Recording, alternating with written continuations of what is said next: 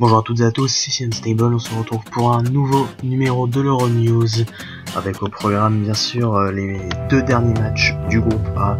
Nous commençons tout de suite par le premier match, enfin les deux à venir à 21h bien sûr.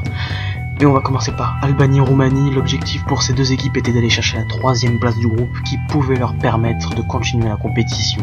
Et c'est l'Albanie qui crée la surprise. Grâce à un but de Sadikou à la 43e, il s'impose donc 1-0 les Albanais terminent donc troisième du groupe avec 3 points. Ils peuvent encore faire partie des 4 meilleurs troisièmes et ainsi se qualifier pour les huitièmes de finale de l'Euro 2016. Et enfin, le deuxième match de la soirée, France-Suisse. Le match tant attendu. Rappelons qu'un match nul est suffisant pour conserver la première place du groupe A pour, pour les Bleus. Et ce scénario s'est déroulé, les deux équipes se sont quittées sur un score nul et vierge, 2-0-0. On reste un peu sur notre fin, mais le plus important est assuré. On est en demi-finale, en n'importe quoi, en huitième de finale, pardon. C'est pas encore les demi-finales.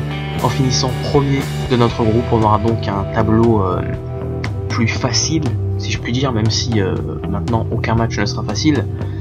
À noter, euh, on avait eu quelques changements de composition. Sissoko, Kabay, Gignac étaient titulaires. Pogba, Griezmann de retour. Alors, Sissoko a fait un bon match, il s'en est bien sorti. Kabay n'a pas démérité. Gignac a connu quelques difficultés, il a essayé de montrer des trucs. Pogba a fait un bon match, il était de retour, Paul.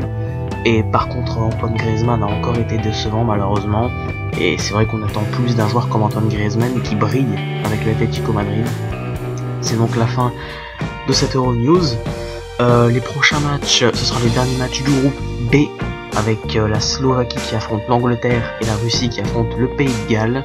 Ces deux matchs seront à 21h aussi. Et voilà, d'ici là, je vous souhaite une bonne soirée et je vous dis à demain.